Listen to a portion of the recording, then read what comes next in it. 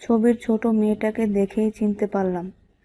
গতরাতে দেখা হওয়া মহিলার চেহারার বৈশিষ্ট্য এই মেয়েটার মতোই। পার্থক্য হলো এখনকার মতো কঠিনতা নেই ছবির মেয়েটার মধ্যে। এটা হলো হ্যানা ডিটমার। এর মানে ছবির বয়সে বড় মেয়েটা হলো পেট্রা। মেয়েটা দেখতে অসাধারণ। বলন্ড চুল, লম্বা দেহ, মাখনের মতো ত্বক তার। ছবিতে দুপাশে দু হাত রেখে স্থির দাঁড়িয়ে রয়েছি হ্যানা ও আমি। কিন্তু ভিন্ন একটা ভঙ্গিতে রয়েছে পেট্রা। তার একটা হাত নিজের পশ্চাদেশে একটা পা উঠিয়ে রেখেছে ব্যাকওয়ার্ড কিক দেয়ার ভঙ্গিতে। তার পায়ের নখে লাল নেল পলিশ। আমাদের পরনে ঘুমোতে যাওয়ার পোশাক। পায়জামা পরেছিলাম আমি ও হেনা। পেট্রার পরনে লম্বা টি শার্ট আর একটা শর্টস। গলাতে একটা নেকলেসও রয়েছে তার। সোনার চেইনের সাথে ঝুলছে ছোট ক্রুসিফিক্স ওই রাতের কথা মনে আছে আমার। অন্তত বইয়ে যা লেখা সেটা। একসাথে রাত কাটানোর কথা ছিল আমাদের। যাকে বলে স্লিপ ওভার কিন্তু খুব বিশ্রী হয়েছিল ব্যাপারটা। ন বছর বয়সেও ভেবেছি, এরকম একটা ঘটনার কোনো স্মৃতি কেন নেই আমার? বইটাতে যা পড়েছি সেটা সত্যি। এমনটা ভেবে কত রাত নির্ঘুম কেটেছে তার ঠিক নেই। কারণ যা ঘটেছিল ওই রাতে সেটা আসলেই ভয়ানক। অনেকটা হরর মুভিতে দেখা দুঃস্বপ্নের দৃশ্যগুলোর মতো ছিল সেটা, যার অভিজ্ঞতা কেউ পেতে চায় না। কিন্তু ওই অভিজ্ঞতার মুখোমুখি হতে হয়েছিল আমাকে। আর এই ব্যাপারে কিছু মনে নেই আমার। এর অর্থ, নিশ্চয়ই কোনো ভয়াবহ সমস্যা রয়েছে আমার। ছোটবেলায় রাতের পর রাত নিজের ঘর ও বাবা মার ভিন্ন বাসার বেডরুমের সিলিংয়ের দিকে তাকিয়ে ভাবার চেষ্টা করেছি। বইয়ের কোনো ঘটনা আমার মনে না থাকার কারণ। একসময় বুঝতে শুরু করি, বইয়ে উল্লেখিত ঘটনাগুলো আমার মনে নেই কেননা কখনো ঘটেইনি ওসব। এমনকি হ্যানা পেট্রার সাথে কাটানো রাতের ভয়াবহ ঘটনাটাও। কিন্তু এই ছবিটা দেখে মনে হচ্ছে আমার ধারণা ভুল। ব্যানবেরি হলে কাটানো বিশ দিনের মধ্যে কোনো এক রাতে আমার সাথে থেকেছিল হ্যানা ও পেট্রা, অন্তত রাতের কিছুটা সময়। পরের ছবিতেও রয়েছে পেট্রা, কিচেনে দাঁড়িয়ে রয়েছে আমার মায়ের সাথে। দুজনেই তাকিয়ে আছে সিলিংয়ের একটা বিশাল গর্তের দিকে। মনে হচ্ছে হুট করেই তোলা এই ছবিটা। দুজনেরই মাথাটা সামান্য উঁচু, স্পষ্ট দেখা যাচ্ছে গলা। দেখে মনে হচ্ছে ওরা মা মেয়ে। ভাবলাম কখনো এই ছবিটা দেখেছে কিনা মা। দেখে থাকলে তার মতোই বৈশিষ্ট্যের একজন কিশোরীকে দেখে কেমন ছিল মায়ের অনুভূতি। একেবারে মেয়েলি স্বভাবের একটা মেয়ে ছিল পেট্রা। কখনোই এরকম ছিল না আমার মায়ের নিজের মেয়ে। ছবির ব্যাকগ্রাউন্ডে দেখা যাচ্ছে আরও দুজনকে। ফ্যানেল টি শার্ট আর জিন্স পরা এক বৃদ্ধ। একটু সামনে দাঁড়ানো। উঠছে মই বেয়ে। তার ঠিক পেছনে তুলনামূলক কম বয়স্ক একজন। ঠিক মতো দেখা যাচ্ছে না তাকে। শুধু দেখা যাচ্ছে তার অর্ধেক চেহারা। কালো টি শার্টের অর্ধেক অংশ আর ডেনিম প্যান্ট। ওয়ার্ল্ড হিবেটস ও আমার বাবা। রান্নাঘরের ওই ঘটনা ঘটার দুদিন পরের ছবি এটা। ওদের সাথে রাত কাটানোর ঘটনার মতো ওই রান্নাঘরের ঘটনাটাও বইয়ের বিখ্যাত একটা অধ্যায়। আর এই ছবিটা দেখে মনে হচ্ছে বাস্তবেও মিল রয়েছে ওই ঘটনার সাথে। ছবিটা উঁচিয়ে ভালোভাবে দেখতে থাকলাম আমি। জুতোর বাক্সটা পাওয়ার পর যে অস্বস্তিটা হয়েছিল, ধীরে ধীরে বাড়ছে সেটা। খারাপ সংবাদ শোনার পর, অথবা হৃদয় ভাঙার পর যেমন অনুভূতি হয়, এই অনুভূতিটাও ওরকম। ব্যাপারটা এরকম, এতদিন ধরে যা মিথ্যে ভেবে এসেছেন সেটা সত্যি হলেও হতে পারে। আমার মনের একটা অংশ জানে, ব্যাপারটা পুরোপুরি হাস্যকর। বইটা একটা কল্প কাহিনী ছাড়া আর কিছুই নয়। যদিও প্রচ্ছেদে লেখা, সত্য ঘটনা অবলম্বনে। সব সময় এমনটাই বলে এসেছে আমার মাও। এরপরও আমার মাথার ভেতর একটা ক্ষীণ কণ্ঠস্বর বলে উঠল, ভুলও হতে পারে আমার ধারণা। এই একই কণ্ঠস্বরই গতরাতে এলসা ডিটমারের উপস্থিতি টের পেয়ে বলে উঠেছিল, ইন্ডিগো রুমের মধ্যে হয়তো রয়েছে মিস্টার শ্যাডো। এখনও শুনতে পাচ্ছি ওই কণ্ঠস্বর। ফিস করছে আমার কানে। তুমি জানো এটা সত্যি, জানতে সব সময় অস্বস্তিকর ব্যাপারটা হলো, এই কণ্ঠস্বর আমার পরিচিত। এটা আমার বাবার। মৃত্যুর আগে যেমনটা শোনা গিয়েছিল তার কণ্ঠস্বর, ঠিক ওরকমই এটা। বক্সের শেষ দুটো ছবি বের করার সময়ও শুনলাম ওই কণ্ঠস্বর। দুটোর প্রথম ছবিটা বাবার নিজের তোলা সেলফি। দু হাত উঁচিয়ে। থুতনি কিছুটা নামিয়ে ক্যামেরা দিয়ে নিজেই উঠিয়েছে ছবিটা। পেছনের ব্যাকগ্রাউন্ডের সাদা দেয়াল। ক্যামেরার দিকে সরাসরি তাকিয়ে রয়েছে সে। দেখে মনে হচ্ছে ক্যামেরার ভেতরে নিজের ভবিষ্যৎ দেখতে পাচ্ছে বাবা। আবার বলা চলে, ছবির বাবা তাকিয়ে রয়েছে আমার দিকেই। মধ্যখানে শুধু ব্যবধান পঁচিশ বছরের। শুনতে পেলাম আবারও সেই কণ্ঠস্বর। ওখানে কখনো ফিরে যেও না। জায়গাটা নিরাপদ নয়। অন্তত তোমার জন্য না আশা করলাম ছবিটার দিকে না তাকালে হয়তো একাই মিশে যাবে এই কণ্ঠস্বর। উঠিয়ে নিলাম শেষ ছবিটা। অদ্ভুত একটা অ্যাঙ্গেল থেকে ওঠানো এটা। জানালা দিয়ে তোলা পেছনের উঠোনের ছবি। দুজন মানুষ প্রবেশ করছে বনের মধ্যে। একজন হলো আমার মা। অপরজন পাঁচ বছর বয়সী আমি। এই ছবিটা একেবারে বয়ে বাবার উল্লেখিত ছবিটার মতোই। যেটা ক্যামেরাটা পাওয়ার পর তুলেছিল বাবা। ইচ্ছার বিরুদ্ধেও ফ্রেমের বা প্রান্তে চলে গেল আমার চোখ। আগে থেকেই জানি কি দেখব ওখানে। নিশ্চিতভাবেই ফ্রেমের একেবারে কাছাকাছি গাছের ছায়ার আড়ালে দাঁড়িয়ে রয়েছে একটা অবয়ব। গাছের ডালের ছায়াও হতে পারে সেটা, আবার হতে পারে মানুষও। ঠিক বুঝতে পারছি না, কেননা ছবির মান খুবই নিম্ন, আর জিনিসটাও ফোকাসের বাইরে। ঝাপসাও দেখাচ্ছে সেজন্য। এছাড়া মানুষের অবয়ব বলেই মনে হচ্ছে ওই ছায়াটাকে। সব থেকে জঘন্য ব্যাপারটা হলো, ছায়াটা যেখানে দেখা যাচ্ছে গত রাতে ঠিক ওখানেই কাউকে দাঁড়িয়ে থাকতে দেখেছিলাম আমি। এটা তো কাকতালীয় হতে পারে না। আবারও শুনতে পেলাম বাবার কণ্ঠস্বরের ফিসফাস। এটা মিস্টার শ্যাডো, তুমি তাকে চেনো। কিন্তু মিস্টার শ্যাডো তো বাস্তব নয়। যেমন বইয়ের ঘটনাগুলো বাস্তব নয়। তাকিয়ে থাকলাম ছবিটার দিকে। ছবিটা ওঠানোর কয়েক মুহূর্ত পরে যা ঘটেছিল ভাবলাম সেটা। হাত চলে গেল গালে। আনমনেই স্পর্শ করলাম চোখের নিচের কাটা দাগটা। বুঝতে পারলাম, বইটা কল্পনা প্রসূত হলেও এতে সত্যিরও ছাপ রয়েছে। এই কাটা দাগটা সেটার আরেকটা প্রমাণ। ছবিটা নামিয়ে রাখলাম ডেস্কের ওপরে। ওখানেই রয়েছে বাকিগুলো। সবার ওপরের ছবিটা বাবার সেলফি। তার চোখ যেন চেয়ে আছে আমার দিকেই। যেন সে জানে আমার পরবর্তী ধাপ কী। ডেনকে রেখে এখান থেকে বেরিয়ে যাওয়া। বাইরে এসে ট্রাক ও লনের জিনিসপত্রগুলো পেরিয়ে ঘুরে দেখলাম পুরো বাড়ির চারপাশ। বাড়ির বাইরের দেয়ালে ছেয়ে রয়েছে আইবি লতা।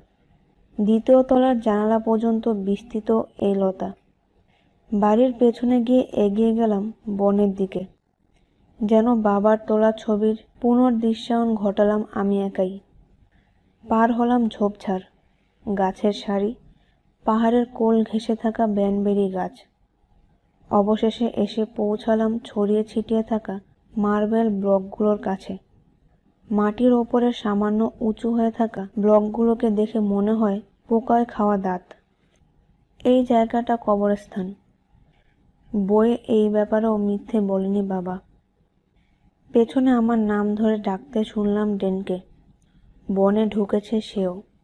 আমার কাছাকাছি আসার চেষ্টা করেছে দ্রুত হেঁটে। কবর ফলকগুলো দেখে জমে গেল সে। হায় ঈশ্বর, বলল ডেন। আমিও অবাক হয়েছি। হাঁটু গেড়ে বসে আবর্জনা সরালাম একটা কবরের ফলক থেকে। দেখলাম মার্বেল পাথরে খোদাই করা নামটা। হাসতে শুরু করলাম এরপর। বিশ্বাস করা সম্ভব নয়, ভাবলাম আমি।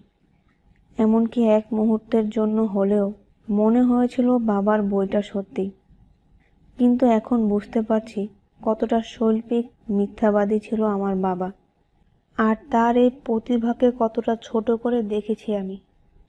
অবশ্যই তার লেখা বই হাউস অফ হররের স্থান, কাল পাত্র বাস্তব। সম্পত্তির মধ্যে কবরস্থান থাকলে বইয়ে উল্লেখ করাটা স্বাভাবিকই। যখন ফিকশনে অনেকগুলো সত্যি ঢুকিয়ে অনেকগুলো সাপের মতো একত্রে পেঁচিয়ে ফেলা হয়, তখন মানুষ সেটা বিশ্বাস করতে বাধ্য। রাজনীতিবিদেরাও ঠিক এমনটাই করে। এই কারণে এক মুহূর্তের জন্য হলেও বিশ্বাস করে বসেছিলাম আমি। বইয়ে উল্লেখিত এত কিছু নিজ চোখে দেখার পর বিশ্বাস করাটা কঠিন নয়।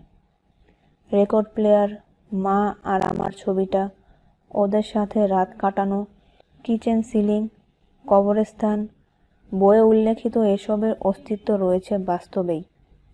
এসব দেখে ভেবে বসেছিলাম বইয়ের ঘটনাগুলো হয়তো সত্যি। কিন্তু কবর ফলকের খোদাই করা নামটা দেখে বুঝলাম, একেবারে শুরু থেকেই সঠিক ছিলাম আমি। বইটা আসলেই আজগুবি।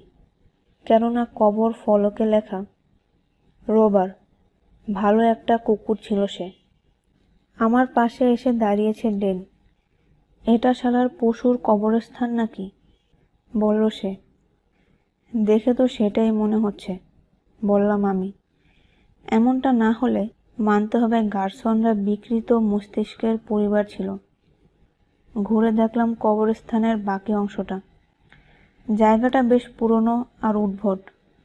তবে বাবা বইয়ে যা লিখেছে, সেটার সাথে কোনো মিল নেই এই জায়গার। বেশ কিছু কুকুরের কবর রয়েছে এখানে। সেই সাথে অসংখ্য বিড়ালেরও। দেখতে পেলাম একটা ঘোড়ার কবরও, যেটার নাম ছিল উইন্ডি। এই কবরের দিকে নির্দেশ করে বলল, ডেন, সম্ভবত এই ঘোড়াটার ভূতই তারা করেছিল আপনার পরিবারকে। ভূতের কোনো অস্তিত্ব নেই, বললাম আমি। সেটা ঘোড়ারই হোক বা অন্য কিছুর। এত দ্রুত ভূতের অস্তিত্ব বাতিল করে দিয়েন না। আপনি তো এসবে বিশ্বাস করেন না, তাই না? মনে হলো যেন ভাবছে, ডেন, আমি ভূত বিশ্বাস করি না। না ওভাবে করি না আসলে। অন্তত মানুষ যেসব অতিপ্রাকৃতের ব্যাপারে কথা বলে, ওসবে নয়। কিন্তু এটুকু বিশ্বাস করি, মাঝে মধ্যে কিছু ব্যাপার ঘটতেও পারে। হাজার চেষ্টা করেও যেসবের ব্যাখ্যা দাঁড় করানো যায় না। অলৌকিক ঘটনা, এমনটাই বলতেন আমার দাদি। উনি বিশ্বাস করতেন এসবে? হ্যাঁ আদিকালের আইরিশ ছিলেন উনি। বড় হয়েছিলেন ভূত প্রেতের গল্প শুনে। তিনি এসবে বিশ্বাস করেন দেখে হাসি পেত আমার। শান্ত হয়ে এসেছে তার কণ্ঠস্বর। অনেকটা ফিস ফিস করে কথা বলছে সে। কিন্তু দশ বছর বয়সে কিছু একটা দেখেছিলাম আমি। হয়তো ভূত নয়, তবে কিছু একটা ছিল ওটা। অলৌকিক কিছু, জিজ্ঞেস করলাম আমি। সামান্য লাল হয়ে উঠল তার চেহারা। কাঁধ ঘষল সে। কিশোরদের মতো ভাব লক্ষ্য করলাম তার চেহারায়। ডেন হিবেটসের সাথে দেখা হওয়ার পর গত চব্বিশ ঘন্টায় যা লক্ষ্য করলাম, সে শুধু একজন সুদর্শন কেয়ারটেকার অথবা দায়িত্বশীল লোকই নয়, সেই সাথে তার জানাশোনাও অনেক। তার এই দিকটি বেশি ভালো লেগেছে আমার। কয়েকটা শহর দূরে পুরনো একটা বাড়িতে থাকতাম আমরা, বলল সে। বাড়িটা ছিল লম্বা, তবে সরু। আমার ঘরটা ছিল ওপরতলায়। ঘরটাকে পুরো বাড়ি থেকে বিচ্ছিন্নই বলা যেতে পারে। তবে এতে বেশি কিছু মনে হয়নি। আমার বয়স তখন দশ। একটু একান্তেও থাকতে চাইতাম তখন। অক্টোবরের কোনো এক রাতে হঠাৎই দরজা খোলার আওয়াজে ঘুম ভাঙে আমার। আমি উঠে বসে দেখলাম, দরজায় দাঁড়িয়ে রয়েছে দাদি। তোমাকে শুভরাত্রি জানাতে এসেছি, বালক, বলল সে। আমাকে বালক বলেই ডাকতেন তিনি। এরপর দরজা লাগিয়ে চলে গেলেন। আবারও ঘুমাতে যাওয়ার আগে তাকালাম ঘড়ির দিকে। তখন বাজছিল রাত একটা বত্রিশ। পরদিন সকালে নিচে নেমে দেখলাম, কিচেন টেবিলে বসে রয়েছে আমার বাবা মা। কাঁদছিল আমার মা। হতাশ দেখাচ্ছিল বাবাকেও ওদের জিজ্ঞেস করলাম, দাদি কোথায়? তাকে দেখছি না কেন? মা জানালেন গত রাতে মারা গিয়েছেন দাদি। ঠিক রাত একটা বত্রিশে। দুজনেই দাঁড়িয়ে রইলাম চুপ করে। এই মুহূর্তে কথা বললে আমাদের মধ্যে হুট করে সৃষ্ট সংযোগটা ভেঙে যাবে। অফিসে তার সাথে কথা বলার সময় যেমনটা মনে হয়েছিল এখনও তেমনই অনুভব হলো। তবে এবারের অনুভূতি বেশি শক্তিশালী, কারণ এবারের প্রসঙ্গটা ব্যক্তিগত। নীরবতার মাঝেই ভাবলাম ডেনের গল্পটা নিয়ে। ভয়ের কিছু নেই গল্পটাতে। এবং গল্পটা বেশ মায়াবী। মনে হলো মৃত্যুর আগে আমার বাবাও যদি আমাকে এমন কিছু বলে যেত। পরিবর্তে মৃত্যুর আগে ব্যানবেরি হলের ব্যাপারে অস্পষ্ট একটা হুমকি দিয়ে গিয়েছে বাবা, আর সেই সাথে চেয়েছে ক্ষমা। কী কারণে জানি না। এই দুটো ব্যাপারই হয়তো এখানে ছুটে আসতে বাধ্য করেছে আমাকে। আমার একটা স্বীকারোক্তি আছে। হঠাৎই বললাম আমি, দাঁড়ান, ধারণা করে কি বলবেন? ভাবলেশীনভাবে বলল ডেন, আপনার আসল নাম উইন্ডি। কাছাকাছি, তবে ঠিক হয়নি। আসলে সত্যিটা হচ্ছে, ব্যানবেরি হল মেরামতের জন্য ফিরে আসিনি আমি। আমি আসলে বের করার চেষ্টা করছি, কেন আমরা ওভাবে ব্যানবেরি হল ছেড়ে চলে গিয়েছিলাম? আপনার মতে এর পেছনে আরও ঘটনা রয়েছে? আমি নিশ্চিত কিছু না কিছু রয়েছে। তাকে সব কিছু খুলে বললাম আমি। বইটা নিয়ে আমার অভিজ্ঞতা, মৃত্যুর আগে আমার বাবার বলা শেষ কথাগুলো, এমনকি এটাও জানালাম। আমি নিশ্চিত, গত পঁচিশ বছর ধরে আমার থেকে সত্যিটা লুকিয়ে রেখেছে বাবা মা। জানি, আমার বাবা মিথ্যেবাদী ছিল। রোবারের কবরের দিকে নট করে বললাম, এখন আমি জানতে চাই কতটুকু মিথ্যে বলেছে সে আর কেনই বা বলেছে। কিন্তু আপনি এরই মধ্যে জানেন ওসব সত্যি নয়, বলল ডেন। তাহলে এত ঝামেলা সহ্য করে অত নির্দিষ্টভাবে জানার দরকারটা কি? কারণ থেমে গেলাম আমি। সঠিক শব্দটা খুঁজতে লাগলাম মনের অনুভূতি প্রকাশের জন্য। কিন্তু বলে প্রকাশ করা সম্ভব নয় ওই অনুভূতি। কারণ জীবনের বেশিরভাগ সময় আমাকে ওই বইটা দিয়েই সংজ্ঞায়িত করা হয়েছে। তবু আমাকে সত্যটা জানান নিয়ে আমার বাবা মা। ফলে আমাকে বড় হতে হয়েছে সংশয় আর একাকিত্বের মধ্যে। পাগল মনে হতো নিজেকেই, কারণ সবাই ভাবত, আমি অলৌকিক কিছুর আক্রমণের শিকার। তার দাদিমার বলা শব্দটা ব্যবহার করতে দেখে সম্মতি সূচক মাথা নেড়ে সায় দিল ডেন। শব্দটা ভালোই। আসলেই। হেসে বললাম আমি। যদিও জল জমা হয়েছে চোখে। চোখ থেকে বের হয়ে আসার আগেই মুছে ফেললাম হাতের উল্টো পাশ দিয়ে। তবে অলৌকিক কিছুর অভিজ্ঞতা আমার নেই। এরকম কিছুই ঘটেনি আমার সাথে। এজন্যই এখন সত্যি ঘটনাটা জানতে চাই। দুর্ভাগ্যজনকভাবে এটাই হলো আপনার প্রশ্নের উত্তর। সত্যতার সাথে জবাব দেওয়ার জন্য ধন্যবাদ। বলল ডেন, মোটেও সহজ হওয়ার কথা নয় সৎভাবে জবাব দেয়া। আসলেও সহজ ছিল না, বললাম আমি। কিন্তু ব্যানবেরি হল হচ্ছে অনেকগুলো মিথ্যের বিষয়বস্তু। আমার মনে হয়েছে সত্যি বলা শুরু করার এখনই সঠিক সময়। উনত্রিশে জুন, চতুর্থ দিন। পরের দিন হিপসকে সাথে নিয়ে আবারও গেলাম বনের ভেতর। ম্যাগিকে নিয়ে বাড়ির ভেতরেই ছিল জেস। ওর পাশে থেকে আর অ্যাসপেরিনের সাহায্যে চেষ্টায় ছিল ওর ব্যথা কমানোর। যেমনটা ভেবেছিলাম তার থেকে কমই ঝক্কি পোহাতে হয়েছে ইমার্জেন্সি রুমে। যদিও যাওয়া আসা ও চিকিৎসা করাতে মোট সময় লেগেছে তিন ঘন্টারও বেশি। সেই সাথে খরচও হয়েছে অনেক। কিন্তু ভালো সংবাদ হলো, সেলাইয়ের প্রয়োজন পড়েনি ম্যাগির। আর খারাপ সংবাদ হলো, একটা কবরস্থান রয়েছে আমাদের বাড়ির মধ্যে। এজন্যই এখানে আসার আগে সাথে নিয়েছি হিপসকে।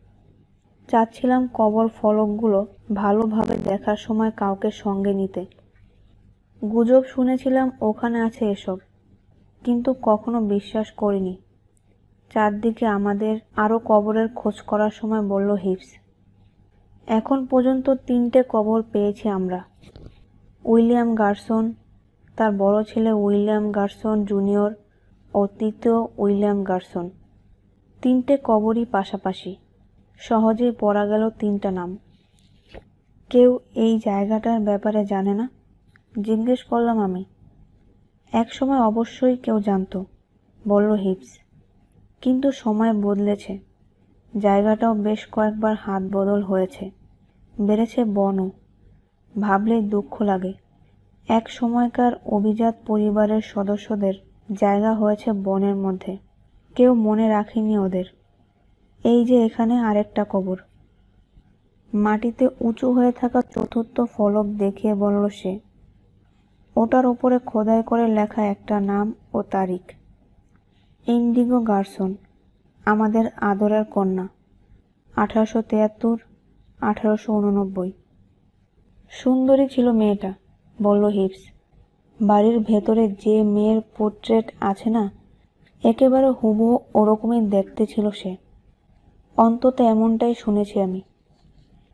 গার্সনদের ব্যাপারে অনেক কিছু জানেন নাকি?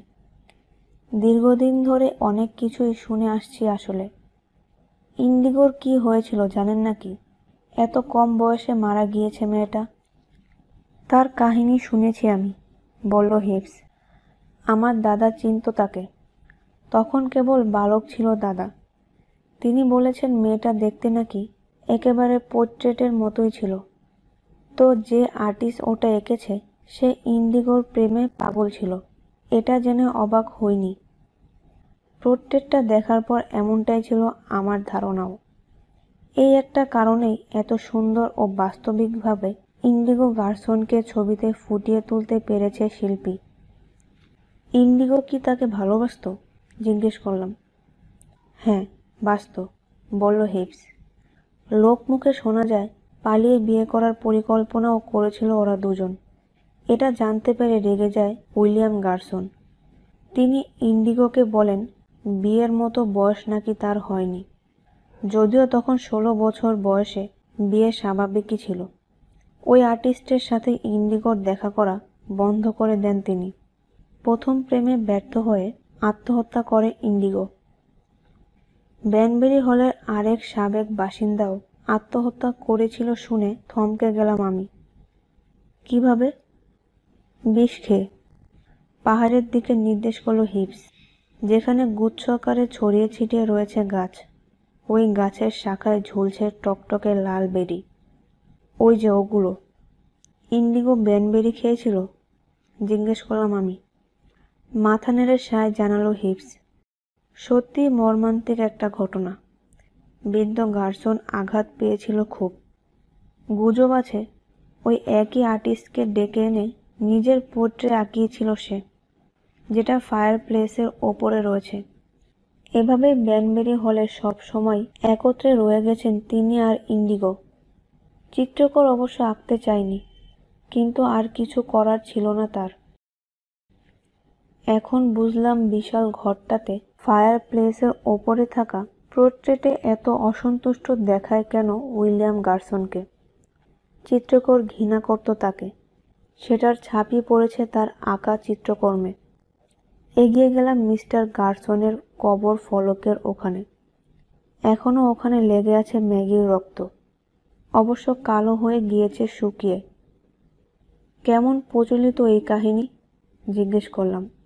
শহরের বাকি লোকেরা জানে বেশিরভাগই জানে মনে হয়। হেসে বলল, হিপস, অন্তত আমাদের মতো বুড়োরা জানে। এই জায়গার আর কার ব্যাপারে জানেন আপনি? বেশিরভাগের ব্যাপারেই সম্ভবত, বলল হিপস। তার কথায় গর্বের ছাপ স্পষ্ট। প্রথম দিন বললেন জেনি জুন আমাদেরকে পুরো ঘটনাটা বলেছে কিনা। বললাম আমি। তখন ভেবেছিলাম সে বলেছে, কিন্তু এখন এখন সন্দেহ করছেন জেনি জুন আপনার থেকে কিছু লুকিয়েছে। হ্যাঁ করছি। স্বীকার করলাম আমি। আর আপনি সেই শূন্যস্থান পূরণ করে দিলে খুবই খুশি হব। আমি নিশ্চিত নই। আপনি সেটা চাইবেন কি না, ইউয়ান? বলল হিপস। তার ভাব দেখে মনে হলো বেরিয়ে আসবে আরও পুরনো কবর। হয়তো আপনি ভাবছেন, আপনি সত্যি জানতে চান। তবে মাঝে মধ্যে সব কিছু না জানাটাই উত্তম। হঠাৎ করেই রাগ জমতে শুরু করল আমার ভেতরে। কঠিন রাগ। উইলিয়াম গার্সনের কবর ফলকে আমার মেয়ের শুকনো রক্ত দেখার পর আরও বাড়ল রাগটা। রাগের চোটে এগিয়ে গিয়ে কলার চেপে ধরলাম হিপসের। আপনি বলেছিলেন, আমার এই জায়গাটার জন্য প্রস্তুত থাকা দরকার। বললাম আমি। কিন্তু আমি প্রস্তুত নই। আঘাত পেয়েছে আমার মেয়ে। মারাও যেতে পারত হিপস তো এমন কিছু যদি আমাকে না জানিয়ে থাকেন, তবে আপনার উচিত এখনই সেটা আমাকে জানানো। আমাকে ঠেলে সরিয়ে দিল না হিপস এমন নয় যে এটা করার সামর্থ্য নেই তার। বয়স হওয়া সত্ত্বেও বেশ শক্তিশালী দেখায় তাকে।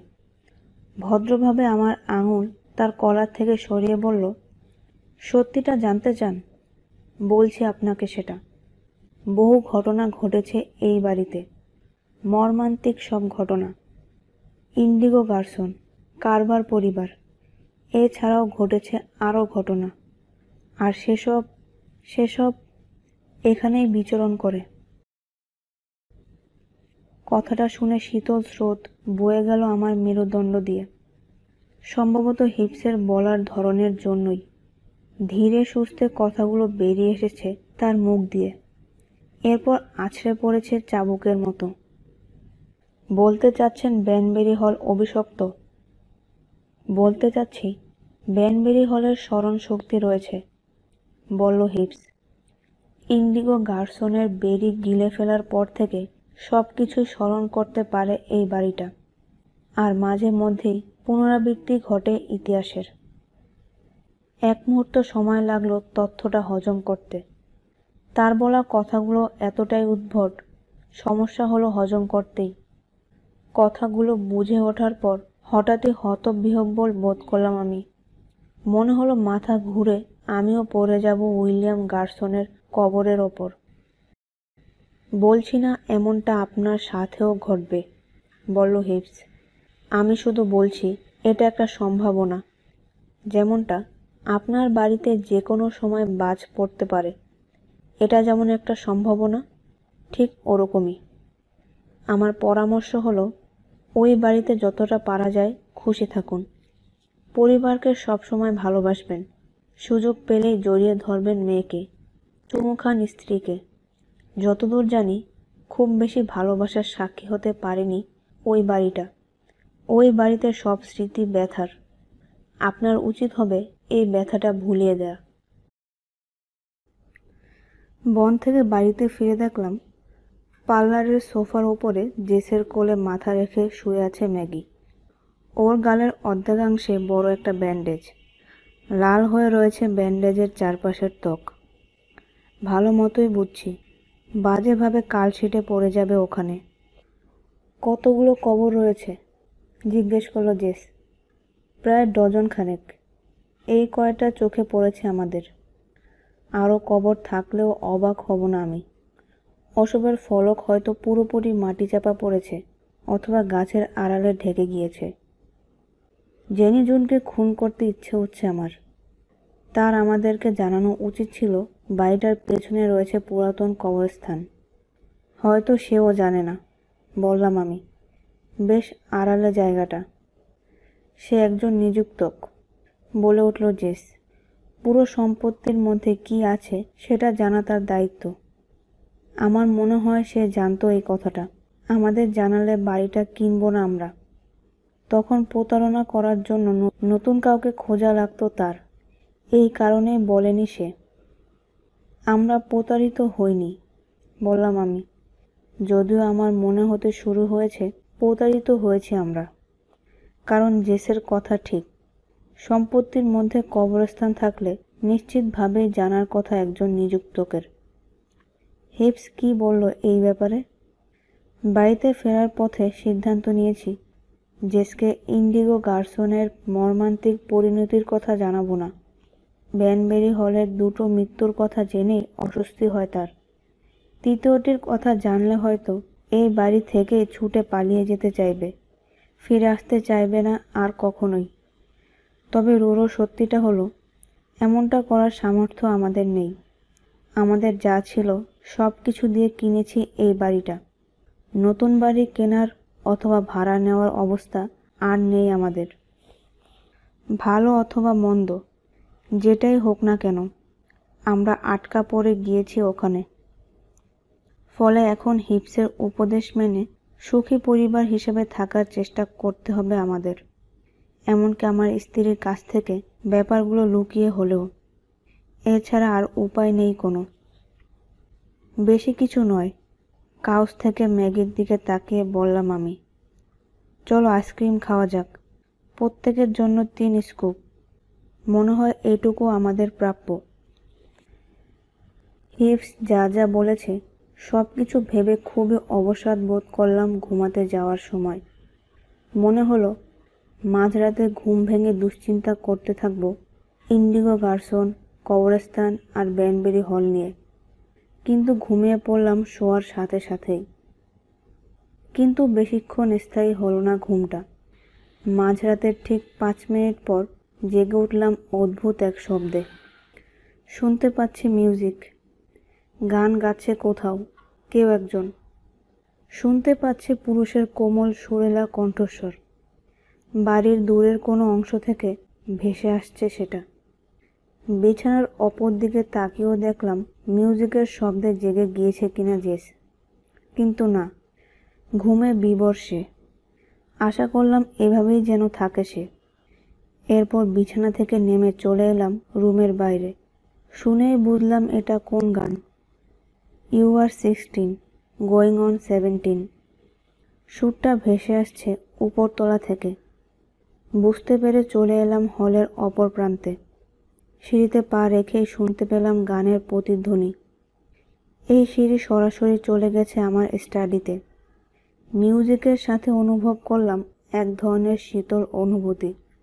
কেঁপে উঠলাম আমি। Baby, it's time to think nervous ভঙ্গিতে সিঁড়ি ভেঙে উঠতে লাগলাম ওপরে। যতই ওপরে উঠছি, স্পষ্ট হচ্ছে গানের আওয়াজ। সেই সাথে বাড়ছে শীতল অনুভূতি। একেবারে ওপরের সিঁড়িতে এসে ভয়াবহ ঠান্ডা লাগতে শুরু করল। আমি নিশ্চিত বেশি আলো থাকলে দেখতে পেতাম নিজের নিঃশ্বাস। Better beware. স্টাডির দরজা খোলার সাথে সাথে কেঁপে উঠলাম মিউজিকের উচ্চ শব্দে। ঘরের ভেতরটা ঘুটঘুটে অন্ধকার। যে ধরনের অন্ধকারে মানুষ দিক নিশানা হারিয়ে ফেলে ওরকম। সেই সাথে অতিরিক্ত শীতল। ঠান্ডায় দেহের পশম দাঁড়িয়ে গেল আমার। বি ক্যানি উষ্ণতার খোঁজে জড়সড়ো হয়ে ঢুকলাম স্টাডির মধ্যে। চেপে দিলাম দরজার কাছে থাকা লাইটের সুইচ। ঘর ভর্তি হয়ে গেল আলোতে। And careful. ডেস্কের ওপর যেখানে রেখে গিয়েছিলাম, ওখানেই রয়েছে রেকর্ড প্লেয়ারটা। ওই একই অ্যালবামই বাচ্চে full ভলিউমে baby you are on the টেনে দিলাম রেকর্ড প্লেয়ারের কাটা। নেমে এলো নীরবতার উষ্ণ চাদর। সেই সাথে চলে গেল শীতল অনুভূতিটাও। হঠাৎ করেই ঘরটা ছেয়ে গেল উষ্ণতায়, অথবা এমনটাই মনে হলো আমার। উষ্ণতা ও নীরবতার মধ্যে আমার মনে হলো, সম্ভবত এসব আমার কল্পনা হতে পারে। তবে শুধু মিউজিকই নয়, যা যা ঘটছে সবই বাস্তব।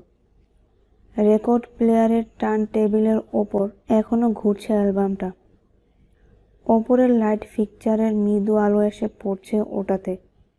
চেপে দিলাম সুইচ রেকর্ডটা পুরোপুরি স্থির না হওয়া পর্যন্ত তাকালাম না ওদিকে। ভাবলাম এটা জেসের কাজ। সম্ভবত ঘুম আসছিল না বলে হয়তো এখানে এসে গান শুনছিল সে। এরপর ক্লান্ত লাগলে নিচে ফিরে গেছে। আর শীতল ওই অনুভূতি সম্ভবত আমার কল্পনা। আবার আরেকটা ব্যাখ্যা হতে পারে। খোলা জানালা দিয়ে ঢুকেছে বনের শীতল বাতাস। কিন্তু অসঙ্গত লাগল ব্যাখ্যাটা। অসম্ভব না হলেও এমনটা হওয়ার কথা নয়। ফলে ধরে নেওয়া যায়, এই ব্যাপারটা আমার অবচেতন মনের কল্পনাই। সকালে হিপসের বলা কাহিনীই হয়তো উস্কে দিয়েছে আমার অবচেতন মনকে। ফলে অযৌক্তিক ভয়ে ছেয়ে গিয়েছে আমার মন। আর হিপসের বলা কথাবার্তাও আসলেই অযৌক্তিক। বাড়ি কখনো কোনো কিছু স্মরণ করতে পারে না। অতিপ্রাকৃত বলে কিছুই নেই। কোনো কারণ নেই এই বাড়িটাকে ভয় পাওয়ার। বিছানায় ফিরে এসে নিজের মনকে বললাম, এই সব কিছু ঘটেছে আমার মাথার ভেতরে। স্বাভাবিকই রয়েছে সব কিছু উদ্ভট কিছুই ঘটছে না ব্যানবেরি হলে। কিন্তু আমার এই ধারণা ছিল ভুল। আপাতমস্তক ভুল। কবরস্থানের আলাপের পরই বাড়ি পাঠিয়ে দিয়েছি ডেনকে। মনে হয়েছে এটা করাই ঠিক হবে। যদিও তেমন কোনো কাজই করা হয়নি। তবে আমাদের অতীতের স্মৃতির অলিগলিতে বিচরণের পর মনে হয়েছে আজকের দিনটা ছুটি নেওয়াই ভালো। অবশ্য আমাকে শহরের দিকেও যেতে হবে। প্রয়োজনীয় কিছু জিনিসপত্র কেনার জন্য। গ্রোসারিতে যাওয়ার জন্য আবারও ফিরে আসতে হলো বাটলবির মূল সড়কে মানে মেপল স্ট্রিটে। পার হলাম রাস্তার ধারের কাঠের তৈরি অনুন্নত কিছু বাড়ি। নিশ্চিতভাবেই মানুষ থাকে ওই বাড়িগুলোতে। বাড়ির সামনে বিশাল জানালা। টের পাওয়া যায় জীবনের চিহ্ন। শহরের মধ্যেই রয়েছে একটা চার্চও চার্চ বিল্ডিংয়ের দীর্ঘ চূড়া যেন ছুঁয়েছে আকাশ। রয়েছে একটা ছোটোখাটো টাউন স্কোয়ারও। সেখানে বসানো হয়েছে একটা ছোট্ট সবুজ স্তম্ভ। সামান্য হলেও বাটলবি শহরটা কেমন যেন মলিন। সচরাচর এমনটা হয় না অন্যান্য শহরগুলো। মনে হয় যেন সময় এসে থমকে গেছে এখানে। যদিও নজরে পড়ল আধুনিকায়নের কিছু ছাপ। সুশি রেস্টুরেন্ট, খাবারের দোকান, অভিজাত জিনিসপত্রের দোকান, যেখানে ডিসপ্লেতে ঝুলছে গুচি ব্র্যান্ডের পোশাক। নজরে পড়ল একটা বেকারি, যেটা দেখার পর ম্যাপল স্ট্রিটের মাঝেই ব্রেক চাপলাম। আমার জানা মতে যেখানে বেকারি পণ্য পাওয়া যায় সেখানে কফিও থাকে। ভালো মানের কফি। সেই সাথে ক্যাফেইনের অভাবই আমাকে বাধ্য করল ব্রেক চাপতে। গাড়িটা একপাশে পার্ক করে ঢুকলাম ট্রেন্ডি ও নিরিবিলি বেকারি শপে। ভেতরে নজর পড়ল কপারের লাইট ফিকচার, টাইলস বসানো টেবিল, তবে চেয়ারগুলো ভিন্ন ভিন্ন। নীল রঙের দেয়ালে অলঙ্কৃত ফ্রেমে বাধাই করে টানানো বিভিন্ন ইলিস্ট্রেশন শপের পেছনের দিকে ডিসপ্লে কেসে সারি করে সাজানো বিভিন্ন ধরনের কেক, পেস্ট্রি পাই। চারদিক দেখে মনে মনে এখানকার মালিকের রুচির প্রশংসা না করে পারলাম না। এগিয়ে গেলাম ডিসপ্লে কেসের দিকে। ওখানে পেস্ট্রি ঠিক করে রাখছে একজন মহিলা। ভাবলাম তাকে গিয়ে জানাব কতটা পছন্দ হয়েছে এখানকার ডিজাইন। কিন্তু কাউন্টারের পেছনে তাকে উঠে দাঁড়াতে দেখে ঠোঁটেই শুকিয়ে গেল প্রশংসা। মহিলাটা হচ্ছে মার্তা কারবার। হাউস অফ হরর বইটার ভক্ত। এক যমজ বোন একবার গুগল করে তার ছবি দেখিয়েছিল আমাকে। সেখান থেকেই তার চেহারাটা গেঁথে গিয়েছিল আমার মস্তিষ্কে। এজন্য এখন দেখার সাথে সাথেই চিনে ফেললাম তাকে। যদিও বয়স বেড়ে গিয়েছে তার, নমনীয় দেখাচ্ছে তাকে। তার বয়স পঞ্চাশের মতো। ধূসর হতে আরম্ভ করেছে বাদামি চুল। হলুদ ব্লাউজ ও সাদা অ্যাপ্রনে বেশ রাশ ভারী দেখাচ্ছে তাকে। আর তার চশমাটা। প্রত্যেকটা ছবিতেই এই সাদামাটা চশমাটা পরেছিল সে। বুঝলাম শুধু আমি একাই গুগলের মাধ্যমে চিনি না তাকে। কারণ স্পষ্টই সে জানে কে আমি। আমাকে দেখে বিস্ময়ের চোখ বড় হয়ে গেল তার, শক্ত হয়ে গেল চোয়াল। গলা খাকারি দিল সে। বাবার ওপর তার ক্রোধ দেখার জন্য নিজেকে প্রস্তুত করে নিলাম আমি। তার এই রাগকে অহেতুক বলা যাবে না। বাটলবির যেসব মানুষ বইটাকে ঘৃণা করে, ওদের মধ্যে বইটাকে ঘৃণা করার সব থেকে শক্ত কারণ রয়েছে মার্তা কারবারেরই। তবে কোনো রকমের রাগ দেখাল না সে। জোর করে ঠোঁট চেপে হেসে বলল, আপনার জন্য কি করতে পারি, মিস হল্ট? আমি আমি দুঃখিত। এটাই বলতে চেয়েছিলাম তাকে। আমি দুঃখিত। আমার বাবা আপনার সাথে ঘটা মর্মান্তিক ঘটনাটিকে ফুলিয়ে ফাঁপিয়ে তুলেছে তার বইয়ে তার কারণে পুরো পৃথিবী জানে আপনার স্বামীর কাণ্ড। কিন্তু বলতে পারলাম না কিছুই। কফি দিন। কেবল এটুকু শব্দই কোনো মতে গলা দিয়ে বেরিয়ে আসলো আমার। নিয়ে যাব। কিছু না বলে কফি ঢেলে আমার হাতে দিল মার্তা কারবার। দুর্বলভাবে ধন্যবাদ জানিয়ে দশ ডলার ধরিয়ে দিলাম তাকে। খুচরা টাকাটাও রাখলাম কাউন্টারের টিপ জারের ওপর। যেন সাত ডলার দিয়ে শোধ করতে চাই তার পঁচিশ বছর ধরে বয়ে বেড়ানো কষ্ট।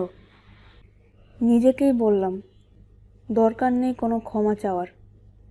তার কোনো ক্ষতি করলে আমার বাবা করেছে, আমি নই। আমিও তার মতোই একজন ভিকটিম কিন্তু বেকারি থেকে বের হওয়ার সময় নিশ্চিত হলাম দুটো ব্যাপার।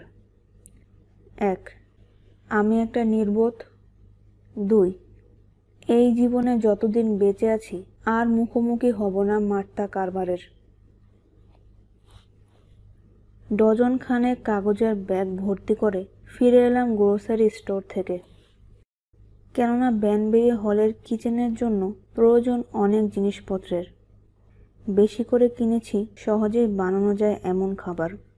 ক্যান্ড স্যুপ, কোল্ড সিরিয়াল, জমাট খাবার যা ডিনারের সময় সহজেই গরম করে নেওয়া যাবে ওই আদিম মাইক্রোওয়েভ ওভেনে। বাড়ির সামনে এসে দেখতে পেলাম ড্রাইভ ওয়েতে দাঁড় করানো একটা টয়োটা ক্যামরি গাড়ি। দ্রুতই বাড়ির পাশ থেকে এগিয়ে এলো এক লোক। ঘুরে দেখছিল বাড়ির আশেপাশে। লোকটার বয়স পঞ্চাশের মতো। গালে সুন্দর করে ট্রিম করা দাড়ি। পরনে চেক স্পোর্টস কোট ও ম্যাচিং বোটাই। পোশাক দেখে তাকে পুরনো দিনের সেলসম্যান বলে মনে হলো। শুধু একটা হ্যাট আর জিনিসপত্র রাখার ব্যাগের অভাব। হাতে একটা নোটবুক নিয়ে তাকে এগিয়ে আসতে দেখেই বুঝে গেলাম কে সে। Brian Prince. বলা যাবে না। তার ব্যাপারে আমাকে সতর্ক করা হয়নি। আপনাকে দেখে ভালো লাগছে, ম্যাগি। তার বলার ধরন দেখে মনে হলো যেন আমরা পুরনো বন্ধু। বিরক্ত হয়ে নামলাম ট্রাক থেকে। আপনি অনুপ্রবেশ করছেন, মিস্টার প্রিন্স। ক্ষমা চাচ্ছি। সামান্য মাথা ঝুঁকে বলল সে। শুনলাম এই শহরে ফিরে এসেছেন আপনি। তো নিজে থেকেই দেখা করতে এলাম। এসে দেখলাম গেটটাও খোলা। তখনই বুঝলাম আপনার ফিরে আসার গুজবটা সত্যি। আশা করছি আমার আচরণে কিছু মনে করেননি আপনি। ট্রাক থেকে গ্রোসারি ব্যাগ নামিয়ে নিয়ে রাখলাম পৌঁছে। যদি বলি হ্যাঁ তবে কি বিদেয় হবেন? সেটা করতে অনিচ্ছুক, বলল সে। আবারও ফিরে আসব সেক্ষেত্রে। ফলে এখনই হয়তো কাজটা সেরে ফেলা ভালো। কোন কাজ? অবশ্যই আপনার সাক্ষাৎকার, বলল সে। ট্রাকে ফিরে নামালাম আরও দুটো ব্যাগ। দুঃখজনক হলেও সত্যি আমার কাছে খুব বেশি খবর নেই, মিস্টার প্রিন্স। দুঃখিত, একমত নই। আমার মতে হল পরিবারের কেউ একজন আবারও ব্যানবেরি হলে ফিরে এসেছে, এটা জানতে বেশ আগ্রহী হবে এখানকার লোকজন। আমি বসবাসের জন্য আসিনি এখানে, বললাম আমি। দ্রুতই ফিরে যাব। এই হলো দুই বাক্যে আপনার প্রতিবেদন। বাড়িটা নিয়ে আপনার পরিকল্পনা কি? মেরামত করে বিক্রি করা। আশা করছি ভালো লাভ করতে পারব। লনে রাখা যন্ত্রপাতিগুলো দেখিয়ে নট করে জিনিসপত্র নিয়ে এগোলাম পোর্চের দিকে। লনে রাখা ইলেকট্রিক করাত, স্যান্ডার, মেলেজ হ্যামার। ব্যানবেরি হল বিক্রির জন্য বাজারে তোলা হবে, এটাই তো বড় খবর, বলল ব্রায়ান প্রিন্স। আমি ভালো মতোই জানি ব্রায়ান প্রিন্সের কোনো দোষ নেই। বাড়িটার ব্যাপারে রসালো খবর পেয়ে সাক্ষাৎকার নিয়েছিল আমার বাবার। বাবার বলা কথাগুলো ছাপিয়েছে শুধু। নিজের কাজটাই করেছে সে, টেস অ্যালকটের মতোই। সব কিছুর জন্য একমাত্র দায়ী। মানুষগুলো হলো আমার বাবা মা। যদিও ওদের ধারণা ছিল না এত দূর পর্যন্ত গড়িয়ে যাবে ব্যানবেরি হলের খবরটা। এত সব ভাবার পরও ম্যালেজ হ্যামারটা উঠিয়ে ব্রায়ান প্রিন্সকে এই বাড়ির ভেতর থেকে তাড়ানোর ইচ্ছেটা দমাতে পারলাম না আমি। বড় খবর হোক বা না হোক, আপনার সাথে কথা বলার কোনো ইচ্ছে আমার নেই। সাফ জানিয়ে দিলাম তাকে। আপনার বাবা কিন্তু বলতে চাইতেন, বলল সে, কিন্তু সেই সুযোগ কখনো পাননি তিনি। বিস্মিত হয়ে পড়ছে নামিয়ে রাখলাম ব্যাগগুলো। আপনার সাথে বাবার যোগাযোগ ছিল? অল্প স্বল্প, বলল প্রিন্স। তবে বহু বছর সহযোগিতা ও খবরাখবর আদান প্রদান হয়েছে আমাদের মধ্যে। তিনি অসুস্থ হওয়ার আগে সর্বশেষ কথা হয়েছিল তার সাথে। এখানে এসে আমাকে একটা ইন্টারভিউ দিতে রাজি হয়েছিলেন তিনি। আইডিয়াটা নিশ্চয়ই আপনার ছিল, বললাম আমি। আসলে আপনার বাবাই করতে বলেছিলেন এটা। একটা এক্সক্লুসিভ ইন্টারভিউ দিতে চেয়েছিলেন তিনি। পঁচিশ বছর পরে এই বাড়িতে বসেই। অবাক হলাম আমি। এই ব্যাপারেও কখনো আমাকে জানায়নি বাবা। হয়তো বুঝতে পেরেছিল। আমি জানলে প্রিন্সের মুখ থেকে কথা বের করার চেষ্টা চালাতে পারি সেই কারণেই। সেই সাক্ষাৎকারের বিষয়বস্তু সম্পর্কে কিছু জানিয়েছিল সে। জিজ্ঞেস করলাম আমি। ভাবলাম, হয়তো অবশেষে এত বছর পর সব সত্যি প্রকাশ করার সিদ্ধান্ত নিয়েছিল বাবা। সম্ভবত এটা হতো তার স্বীকারোক্তি। কিন্তু ভাবনাটা বাধাগ্রস্ত হলো প্রিন্সের কথায়। বইয়ে যা লিখেছেন, সেটাই সুনিশ্চিত করতে চাচ্ছিলেন আপনার বাবা। আর আপনিও সেটাতে সায় দিতেন। বললাম আমি, আমার কথাতে সামান্য পরিবর্তন হলো প্রিন্সের অভিব্যক্তি। সম্ভবত যতটা ভাবছি, অতটাও নির্দোষ নয় সে। আমার বাবার বলা মিথ্যাগুলোকে সত্যি বলে পত্রিকায় ছাপিয়ে দিতেন? সাক্ষাৎকারে তাকে এত সহজে ছাড় দেওয়ার পরিকল্পনা ছিল না আমার। সত্যিটা বের করার চেষ্টা চালাতাম আমি। সত্যিটা হলো বইয়ের সব কিছু তার বানানো, বললাম আমি। সবাই জানে সেটা। মনে হয় না ব্যাপারটা এতটাও সরল, বলল প্রিন্স। বসে পড়লাম পোর্চের সিঁড়িতে, কারণ দ্রুত বিদায় হওয়ার কোনো লক্ষণই দেখছি না প্রিন্সের মধ্যে। আমার পাশে বসে পড়ল প্রিন্সও। এতটাই ক্লান্ত আমি, তাকে চলে যেতে বলার শক্তিও অবশিষ্ট নেই আমার। প্রিন্সের মতে, আমাদের ব্যানবেরি হল ছাড়ার আসল কারণ কি সেটা জানতেও কিছুটা আগ্রহ হলো অবশ্য। তার দাবিগুলো খতিয়ে দেখেছিলেন আপনি? জিজ্ঞেস করলাম তাকে। সে সময় দেখিনি, স্বীকার করল প্রিন্স। এই বাড়িতে তখন প্রবেশাধিকার ছিল না আমার। এটা একটা কারণ। এছাড়া তখন অন্যান্য খবর নিয়েও কাজ করতে হচ্ছিল। চোখ বাঁকিয়ে তাকালাম আমি। নিশ্চয়ই ওই খবরগুলো অতটা গুরুত্বপূর্ণ ছিল না। বাটলবি গ্যাজেট তো আমার বাবার গাঁজাখুরি গল্প একেবারে ফ্রন্ট পেজে ছাপিয়েছিল। আরও বলতে চাচ্ছিলাম, অন্যান্য সংবাদকে একেবারে আড়ালে ফেলে দিয়েছিল এটা। ব্রায়ানের লেখা, প্রতিবেদনটি পত্রিকার ভেতরের এক কোনায় ছাপা হলে কখনোই এত দৃষ্টি আকর্ষণ করতো না মানুষের। কিন্তু ব্যানবেরি হলের ভয়াবহ একটা ছবিসহ এটা একেবারে প্রথম পৃষ্ঠায় ছাপিয়ে আমার বাবার মিথ্যেটাকে আরও বৈধতা দিয়েছে বাটলবি গ্যাজেট।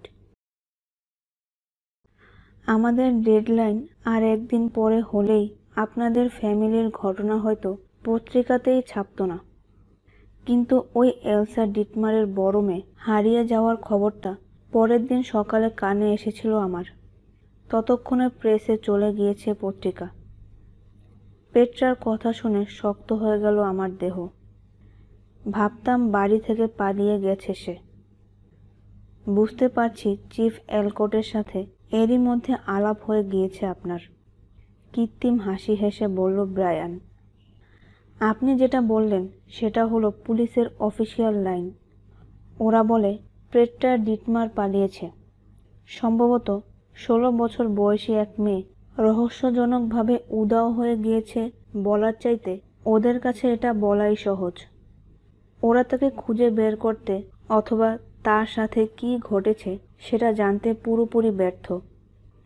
আপনার কি মনে হয়, কি ঘটেছে তার সাথে? আপনার বাবাকে এই প্রশ্নটাও করতাম আমি। অস্বস্তিতে ভরে উঠল আমার মন। যদিও জানি না কোন দিকে এগোচ্ছে ব্রায়ান প্রিন্সের কথাবার্তা। তবে ভাব দেখে মনে হচ্ছে সে যা বলবে আমার খুব একটা পছন্দ হবে না সেটা। তাকে জিজ্ঞেস করতেন কেন? জানতে চাইলাম আমি। আমার বাবার কারণে তো আর পালায়নি পেটটা। উদাও হয়ে গিয়েছে। আমাকে বাধা দিয়ে বলল, ব্রায়ান, উধাও, হারিয়ে যাওয়া, যেটা খুশি সেটাই বলুন। উঠে দাঁড়িয়ে এগোতে আরম্ভ করলাম ট্রাকের দিকে। ব্রায়ানের ওসব ফালতু পেঁচাল আর শুনতে চাচ্ছি না আমি। আমার বাবা এর সাথে জড়িত নয়। আমিও সেটাই ভাবতাম। বলল, ব্রায়ান, এখনও পড়ছেই বসে আছে সে। হাসছে। তাকে দেখে মনে হচ্ছে আমার সাথে খোশ গল্প করতে এসেছে সে। কিন্তু আসলে সেটা নয়। আপনার বাবার বই বের হওয়ার আগ পর্যন্ত, বইটা বের হওয়ার পর আমার সন্দেহ হয়। কোনোভাবে এর সাথে জড়িত থাকতে পারে সে। কীভাবে? প্রথমত পেট্রা ডিটমার্কে সর্বশেষ দেখা গিয়েছিল পনেরোই জুলাই। ওই একই রাতে এই জায়গাটা ছেড়েছিলেন আপনি ও আপনার পরিবার। খুব বেশি কাকতালীয়, তাই না? এই খবরটা শুনে বড়সড় ধাক্কা খেলাম আমি। হতবিহব্বল বোধ করলাম, মনে হলো মুহূর্তের মধ্যে জ্ঞান হারাবো। কোনো মতে ট্রাকের সাথে হেলান দিয়ে সামনে নিলাম নিজেকে। আমরা যে রাতে ব্যানবেরি হল ছাড়ি, ওই রাতেই উধাও হয়েছিল পেট্রা ডিটমার। ব্রায়ানের কথাই ঠিক, কাকতালীয় ঘটনার চেয়ে বেশি কিছু এটা। কিন্তু জানি না এটা আসলে কি। নিশ্চয় আমার পরিবারের সাথেই পালিয়ে যায়নি পেট্রা। ওরকম কিছু ঘটলে মনে থাকতো আমার। এছাড়া ওই রাতে টু পাইন্স হোটেলের আমাদের রুমে এসেছিলেন চিফ এলকট। একটা ষোলো বছরের মেয়ে ওখানে থাকলে নিশ্চিত চোখে পড়ত তার। আমার মনে হয় আপনি অতিরিক্ত ভেবে বসে আছেন, বললাম আমি। তাই নাকি? অনেকবার পড়েছি আপনার বাবার লেখা বইটা। বইটাতে অনেক কিছু লিখেছেন পেট্রা ডিটমারের ব্যাপারে। বয়সের ব্যবধান অনুযায়ী একটু বেশি ক্লোজ মনে হয়েছে তাদের দুজনকে। তাকে ইঙ্গিতপূর্ণ কথা বলতে দেখে রক্ত গরম হয়ে গেল আমার। নিশ্চয়ই বইটাতে বেশ কয়েকবার উল্লেখ রয়েছে পেট্টা ডিটমারের নাম। বেশিরভাগই গুরুত্বপূর্ণ পর্যায়ে। এটা অস্বীকার করা যাবে না। বিশেষ করে এখানে এসে আমার দেখা ছবিগুলোও ওসব ঘটনার একটা প্রমাণ। তবে এর মানে এই নয়, পেট্রা আর আমার বাবার মধ্যে অন্তরঙ্গ সম্পর্ক ছিল। ব্রায়ানের থেকেও আমার বাবাকে ভালো মতো চিনি আমি।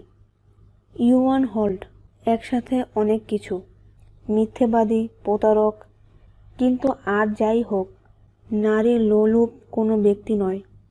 আমি এই ব্যাপারে পুরোপুরি নিশ্চিত। এমন কিছু হলে মা নিশ্চয়ই জানত। সেই সাথে কড়ায় গন্ডায় বাবার কাছ থেকে বুঝে নিত তার পাওনা। যেহেতু এমনটা মা করেনি, সেক্ষেত্রে আমার বিশ্বাস, আমাদের ব্যানবেরি হল ছেড়ে যাওয়ার পেছনে অন্য কোনো কারণ রয়েছে। আমার বাবার বইয়ের বেশিরভাগ কথা মিথ্যে বলে প্রমাণ করা সম্ভব। তার লেখা একটা শব্দও বিশ্বাস করা যাবে না। এমনকি পেটটা ডিটমারের সাথে সময় কাটানোর ব্যাপারে যা লিখেছে, সেগুলোও নয়। আমার বাবা নির্বোধ ছিলেন না, মিস্টার প্রিন্স। নিশ্চিতভাবেই পেট্রা নিরুদ্দেশের পেছনে তার হাত থাকলে বইয়ে তার ব্যাপারে কোনো দিনই এত কিছু লিখত না সে। বিশেষ করে বইটা যখন পড়েছে হাজার হাজার মানুষ। এখন কিন্তু আপনি অতিরিক্ত ভেবে বসছেন। আমি কখনোই বলিনি পেট্রার নিরুদ্দেশের পেছনে আপনার বাবার হাত রয়েছে। বলেছি কোনো একটা যোগ সাজস থাকতে পারে।